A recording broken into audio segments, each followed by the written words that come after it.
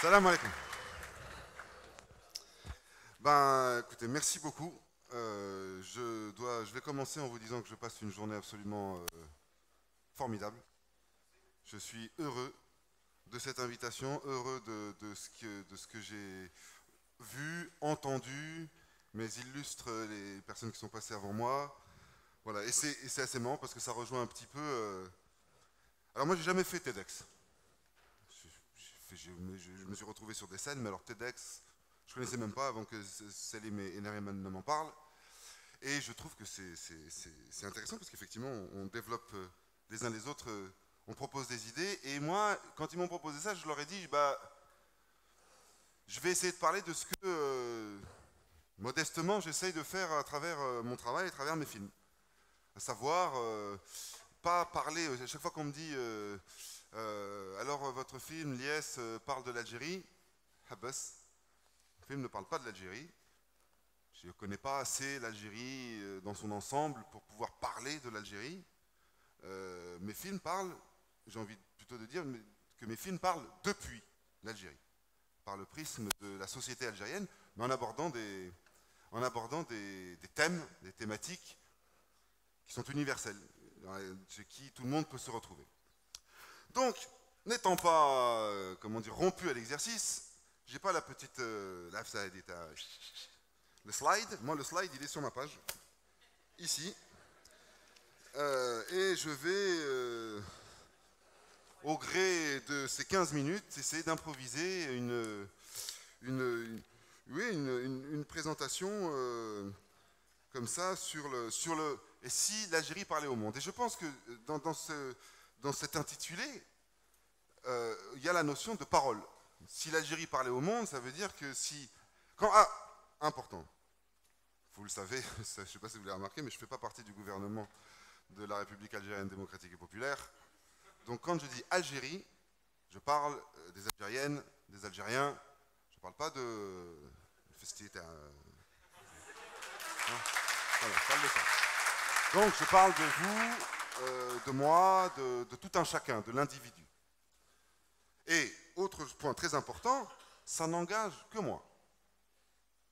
On peut ne pas être d'accord, ce n'est pas des vérités absolues, c'est des réflexions que je me fais au fur et à mesure euh, euh, du temps. Oui, donc, si l'Algérie parle au monde, ça, nécessite la parole.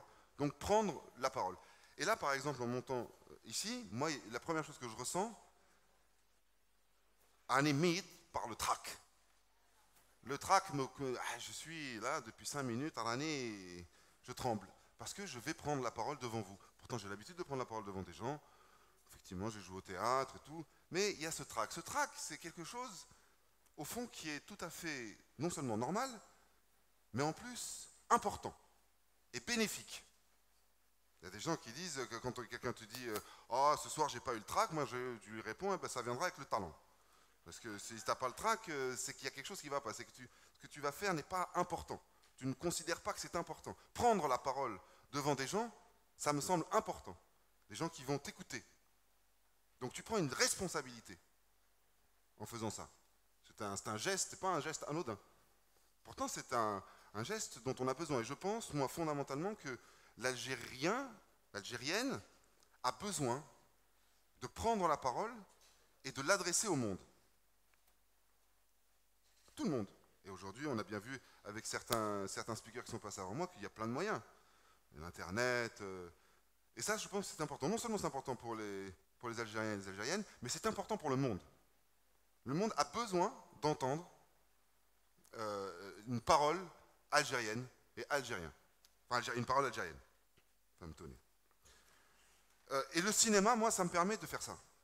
Ça me permet de raconter une histoire à l'intérieur de laquelle je, vais essayer de, me poser des questions, et qu'en me les posant d'une certaine façon, je vous les pose, mais je n'ai pas les réponses, parce que je ne peux pas avoir la réponse pour tout le monde, que chacun trouve sa propre réponse.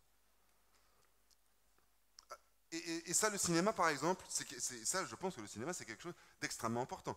Euh, les, sociétés qui ont parlé au monde à travers le cinéma, exemple euh, et expérience intéressante, qui porte un jean aujourd'hui Ah, parce que Srana, donc euh, bon, ok. Bon, mais on porte des jeans parce qu'on a tous vu des westerns. Ah, mais le, le jean se porte dans le monde entier parce que le western s'est exporté dans le monde entier. Vous savez ce qu'il nous reste à faire si on veut que le monde entier porte des jeans là-bas.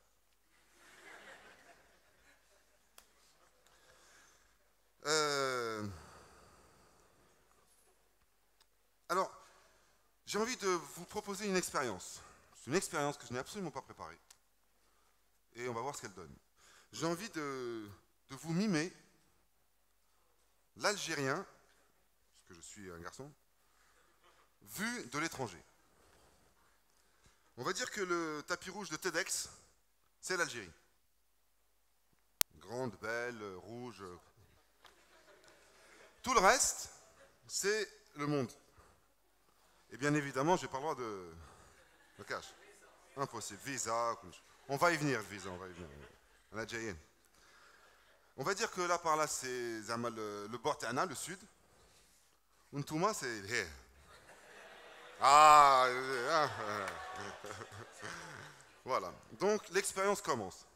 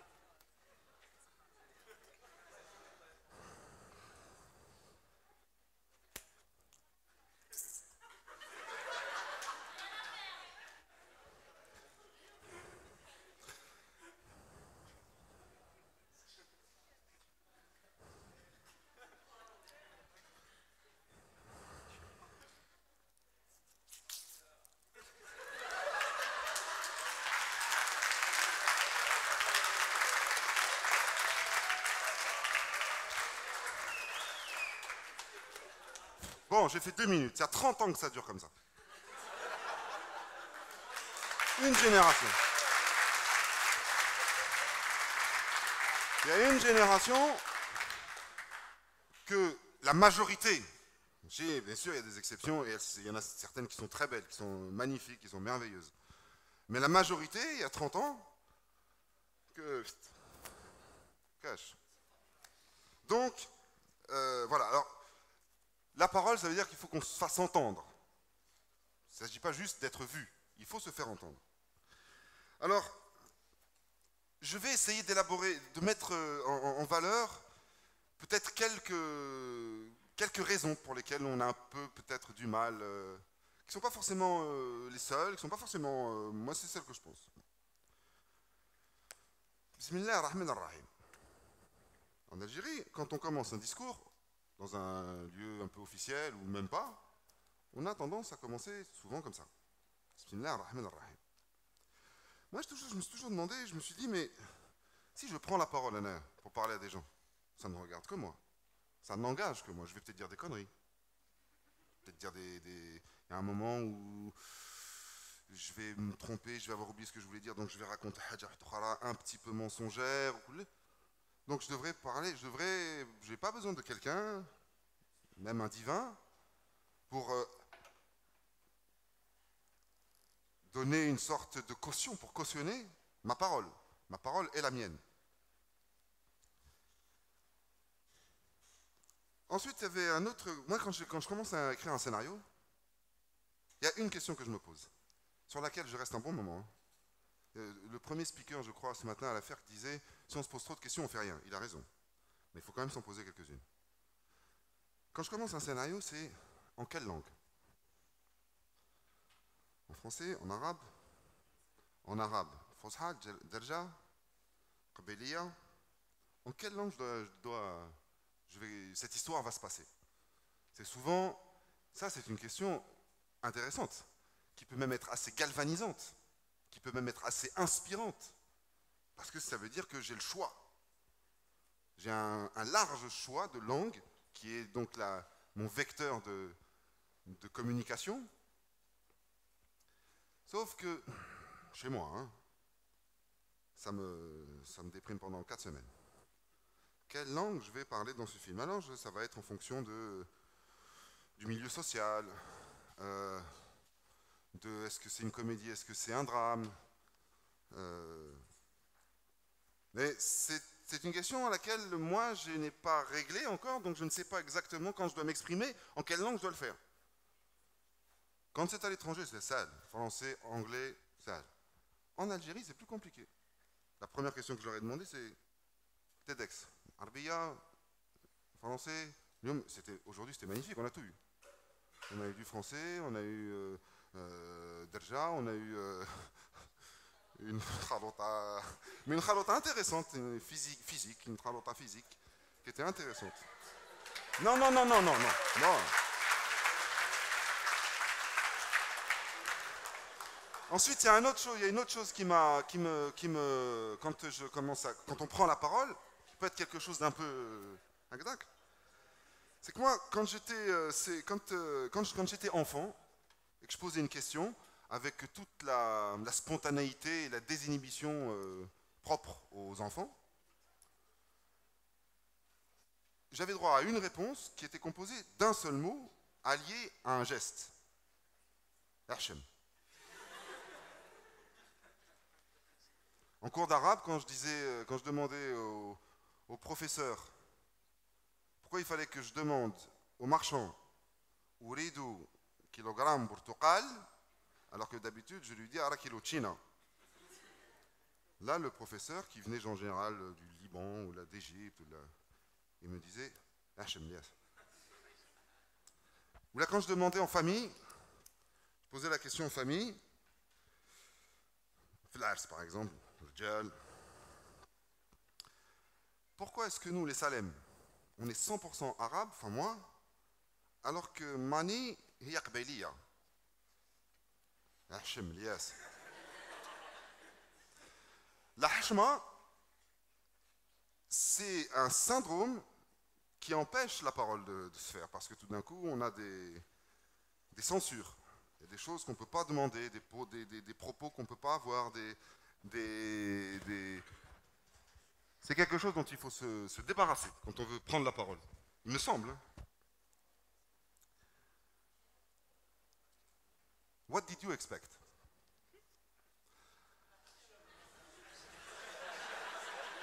Tu vois, bah ouais.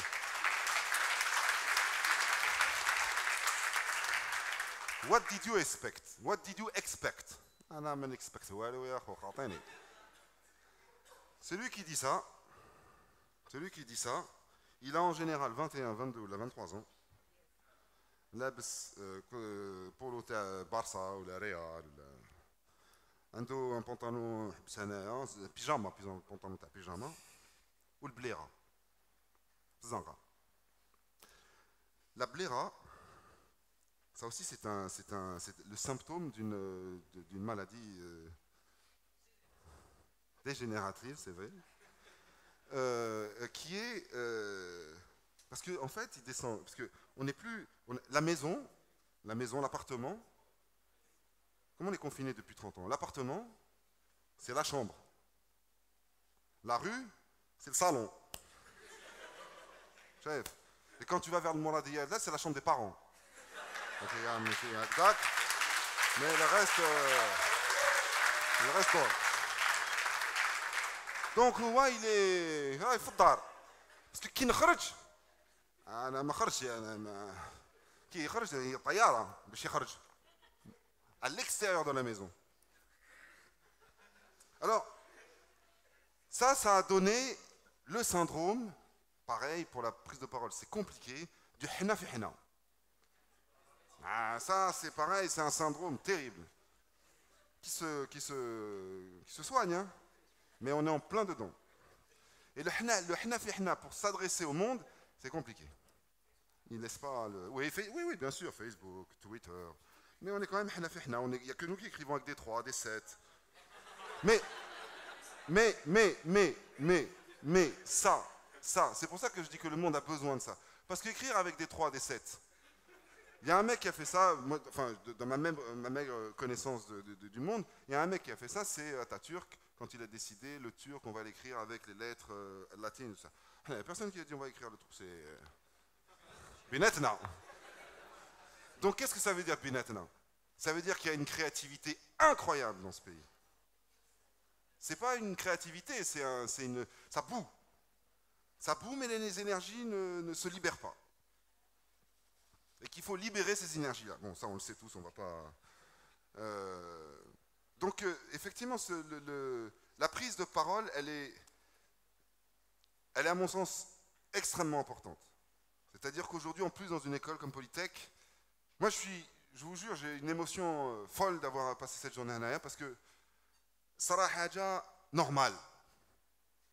Il s'est passé ici aujourd'hui, pour moi, quelque chose auquel j'ai assisté dans le monde entier partout. Normal des gens se sont réunis, ont discuté, ont préparé les choses correctement. après, oui, il y a des petits défauts techniques, allez, on s'en fout.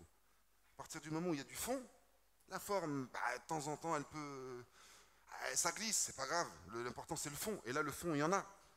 Il y a une, assemblée qui est restée là toute la journée, malgré la chaleur, malgré.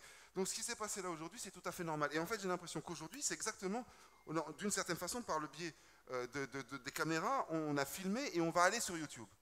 Donc on va parler au monde. Il faut continuer. Parce que là, pour l'instant, je termine. Hein, je suis un petit peu. Pour l'instant, il n'y a qu'une seule catégorie d'Algériens qui parlent au monde. Et vous savez tout ce qui c'est. Et ils lui font peur au monde. Ils le terrorisent. Ils le terrorisent. Alors moi, j'ai une seule question. Et c'est une toute petite partie, on le sait tous, c'est une toute petite partie, c'est pas la peine de le dire, c'est rien, c'est un petit, grain de sable euh, dont, on, nous a parlé tout à l'heure, qui ne glisse pas, qui n'est euh, ni liquide, ni, solide, ni rien du tout. Bon, alors je, termine, je termine juste en posant une seule question. Est-ce que vraiment ce sont les seuls Algériens qui ont quelque chose à dire Merci beaucoup.